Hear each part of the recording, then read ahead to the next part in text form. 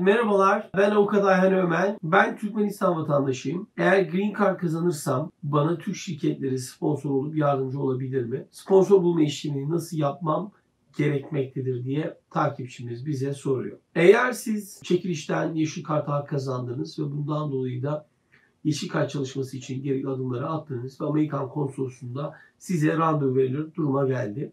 Tabi bu noktada siz ya kendinizin yeterli bir gelirinin ya da mal varlığının olduğunu göstermeniz gerekecek ya da ek bir sponsorunuz var ise ek bir sponsorun gelir durumunun yeterli olduğunu ve size destek olabileceğini göstermeniz gerekecektir. Dolayısıyla bu noktada genelde e, bizim tavsiye ettiğimiz şey eğer Amerika'dan bir sponsorunuz varsa bu ideal olacağı yönünde.